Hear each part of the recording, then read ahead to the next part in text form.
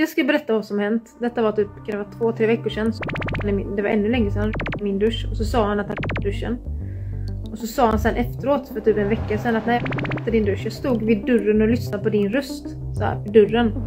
Och så sa han att, eh, att han hade sprutat min dörr. Jag bara okej. Okay. Han berättade det för mig. Okej. Okay. Okej. Okay. Du har alltså sprutat min dusch och tänkt på mig.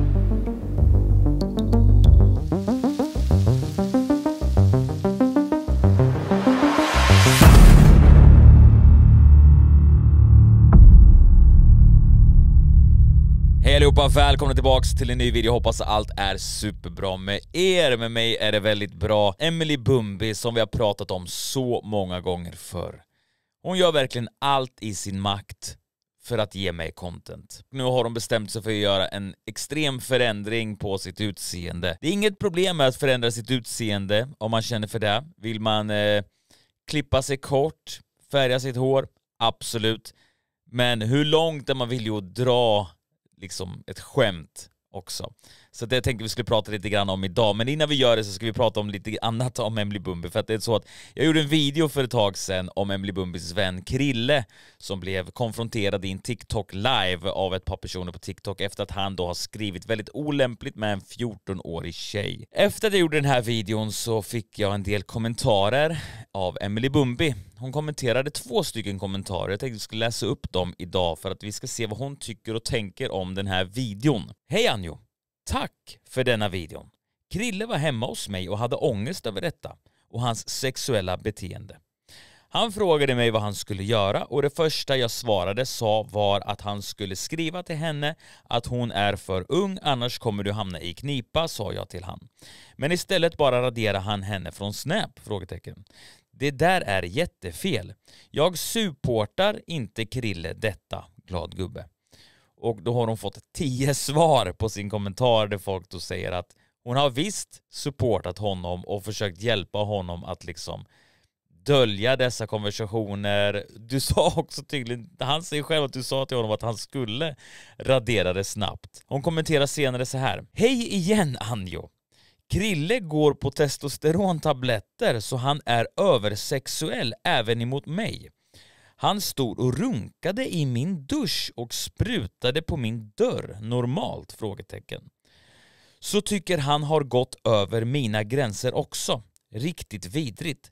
Han ljög även om de 14 000, du vet. Det som är lite intressant är att hon skriver i första kommentaren Tack med stora bokstäver för denna videon. Så hon är alltså tacksam över att jag gjorde den här videon. Hon ville alltså att jag skulle reagera på det här eh, och tycka till om det här och lyfta problemet.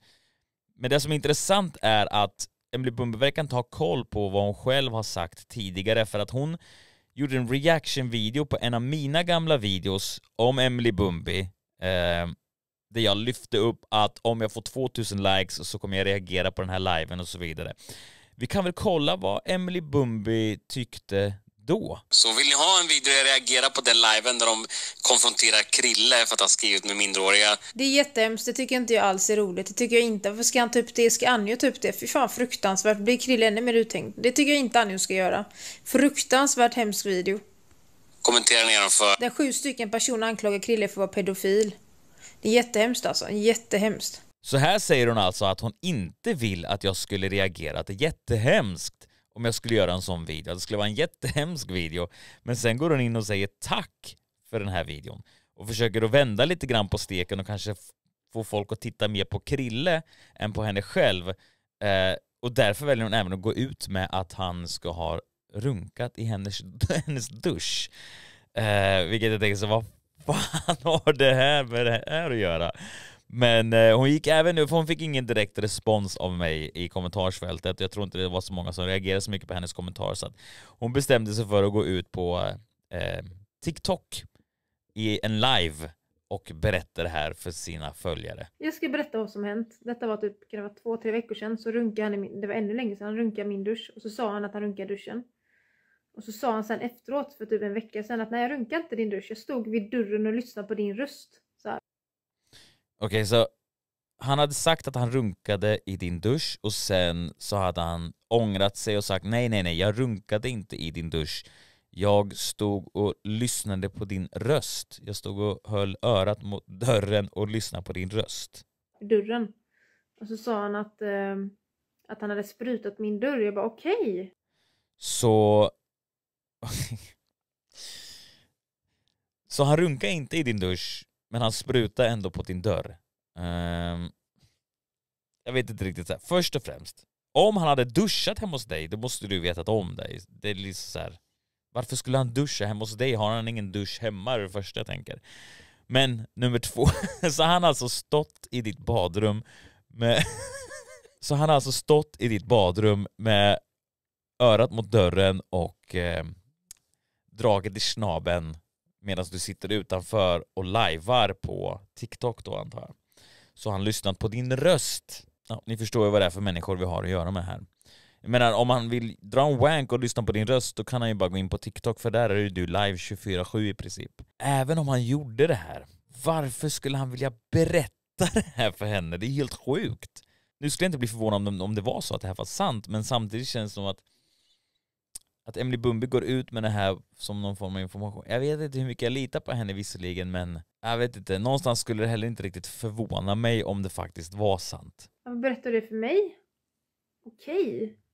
Okej. Du har alltså sprutat på min dusch och tänkt på mig. Sprutat på din dörr var det ju nyss. Men nu säger att han sp- sprutat på din dusch och tänkt på dig. Nyss sa du att han sprutat på din dörr och lyssnade på dig. Ah, oavsett vad han har gjort, det här är ju, alltså dessa människor, det här är ju så jävla sjukt att de här människorna befinner sig på internet.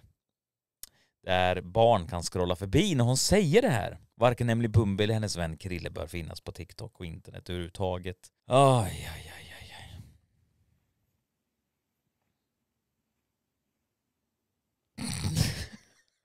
Vad fan var det för jävla min? Oh my god, det är så tydligt att försöker liksom någon form, alltså försöker liksom kasta honom grovt under bussen och, och liksom köra mer eh, som att inte här liksom uthängningen eller konfrontationen var illa nog så tänker hon nej jag för den tyckte hon inte att jag skulle göra en video om men hon ville att jag skulle göra en video om någonting helt annat säger hon. Och nu så lyfter hon upp det här och nu blir det ju som sagt så att jag faktiskt pratar om det här i en Youtube-video. Eh, för att jag tycker det är väldigt, väldigt underhållande måste jag säga, väldigt intressant. Eh, men det känns ju verkligen inte så jävla schysst som kompis att eh, gå ut med en sån här information om det nu skulle vara sant. Och är det inte sant så är det ännu värre att gå ut med ett falskt rykte mot sin kompis. Visserligen så gjorde han samma sak mot henne, försökte kasta henne under bussen eller vad man ska säga att han, han eh, ja, kallade henne skata och bla bla bla i den här liven, där- att den här videon var så jävla sjuk. Som sagt, har ni inte sett den, jag gör så att jag lägger lite länkar i beskrivningen så ni kan se på, på allt det här. Det är väldigt, väldigt underhållande måste jag säga. Okej. Jag bara... Jag får typ hjärtstillestånd typ. Hjärtstillestånd. Ja, han fick stånd. Och du fick ett hjärtstillestånd istället. Nej men alltså, men det är ändå min vän så jag kan inte göra så mycket åt saken. Och nu säger hon oh my god. Nu säger hon ändå det är ändå min vän så jag kan inte göra så mycket åt saken. Vet du vad du skulle kunna göra mot din vän? Det är att inte hänga ut honom för en duschrunkare tänkte jag säga. Men alltså så här, what the fuck. Om det här nu är din vän, varför går du ut med den här informationen? Varför vill du att alla vi ska veta att han efter att han precis blivit uthängd av folk på TikTok för att ha skrivit med minderåriga. Varför bestämmer du då för att gå ut med ytterligare information som ingen vet om förutom du och han där då han skulle ha runkat och sprutat på din dörr medan han tänker eller lyssnar på din röst. Varför vill du gå ut med den informationen som ingen annan vet om det här är din vän? Det visar ju bara på att man vill absolut inte ha Emily Bumbi som en kompis skulle jag vilja säga. Det, det är så jävla stört. Han får runka till vad han vill. Om jag runkar till Nallebjörn så får han göra det. Får han runka till vad han vill? Till vad han vill. Vad han vill. Om jag runkar till, en, till ett glas eller en sten så får han göra det. Men i alla fall, han hade runkat till min röst tydligen. Till min röst. Ja, till Emily Bumbis röst. Ni hör ju själva. Ja, men det här är ju konstigt om man hänger ut sin kompis på det här sättet. Um, för det här är information som ingen visste, förutom hon och han. Om det nu är så att det här har hänt, och som sagt då har det inte hänt, så är det ännu värre att göra en sån här grej mot sin kompis. Gå ut med falsk information. Men Emily Bumbi verkar ju någonstans också sakna uppmärksamheten som hon får. För hon har nu gått ut och förändrat sitt utseende ganska extremt. Hon har bestämt sig för att klippa sig själv väldigt, väldigt kort eh, och färga sitt hår svart. Men det som är intressant när jag ser den här bilden, inte bara hennes nya look, det är också vad folk skriver i kommentarerna, för då är det någon som skriver ser ut som Adolf. Och då tror jag att de flesta förstår vilken Adolf den här personen syftar på. Det, det, det finns bara en Adolf som jag tänker på när någon säger ord, namnet Adolf. Um, och då menar man på att han har blivit, hon har blivit korthårig och svarthårig. och då tycker Emily Bumbi att det är smakfullt att spinna vidare på det här.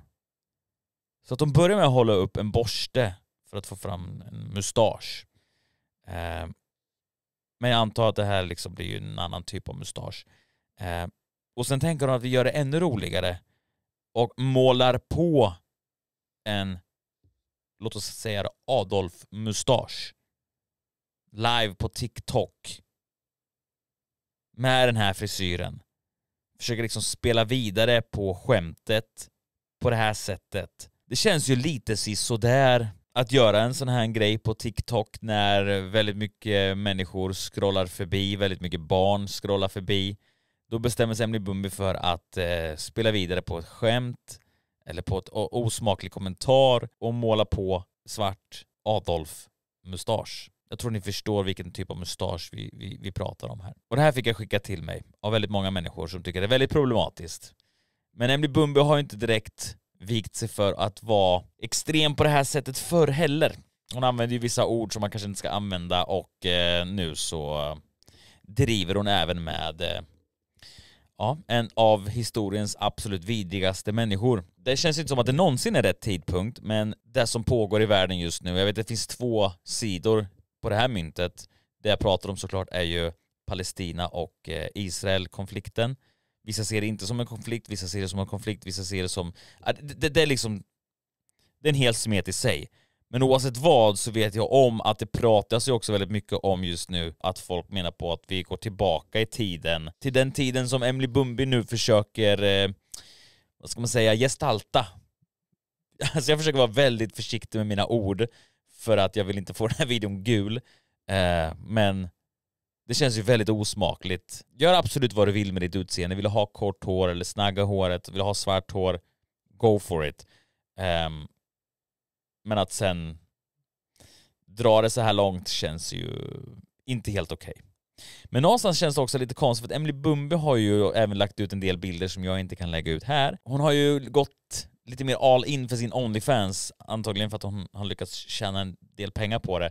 Så att hon släpper ju väldigt mycket mer naket nu på Onlyfans. Eh, det här var ju också någonting som hon kritiserade när är frisk för väldigt mycket för bara något år sedan, två år sedan. Ehm, att sälja sig själv hit och dit, jag vet inte vad.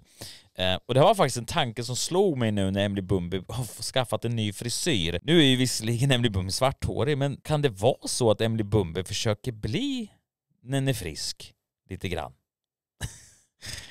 Från att vara en av de personer som försökte hänga ut henne för att vara på ett visst sätt för att hon jobbar med Onlyfans så har Emily Bumby nu inte bara skaffat Onlyfans, hon börjar bli väldigt utvikande på sin Onlyfans och visar väldigt mycket naket och så vidare. Men har också bestämt sig för att klippa kort. Som Nenne Frisk. Nu skulle jag inte säga att det här är samma frisyr som Nenne Frisk har, men det är ju, det är ju närmare och närmare Nenne Frisk ju allt mer tiden går. Jag skulle faktiskt legit vilja höra vad Nenne tycker om det här. Jag skulle vilja höra hennes åsikt om, om, om allt det här. Det hade varit väldigt intressant att, att höra på. Um, så Nenne, ja, jag sträcker ut en hand här. Kan inte du snälla säga, vad tycker du om allt det här? Snart har du inte bara en stalker, utan även en stalker som faktiskt försöker bli någon form av kopia, känns det som. Det här är weird men också samtidigt väldigt underhållande. Det var allt jag hade att säga för dagens video, hoppas ni gillar den och eh, som sagt, glöm inte prenumerera, lämna en like, smash upp den här videon till 2000 likes så blir jag väldigt, väldigt glad. Eh, och som sagt, gillar ni sådana här videos får ni jättegärna prenumerera också.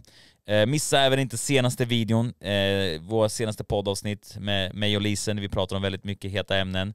Eh, jag kan säga så här att klickfrekvensen på den videon är väldigt låg, men watchtimen är sinnessjukt hög. Så jag vill bara säga det till er som inte har gett chansen på grund av titel och thumbnail, att de som har bestämt sig för att titta på förra videon har tittat väldigt, väldigt länge på den videon. Så att eh, vi pratar inte bara om en sak, utan vi pratar om en del olika saker och mycket av det tycker jag själv är ganska intressant faktiskt. Och det tyckte de som tittar på videon också. Så har ni inte sett den så checka senaste videon också. Nu ska jag sluta tjata. Tack för att ni tittade, vi hörs i nästa video. Ha det så bra så länge. Peace!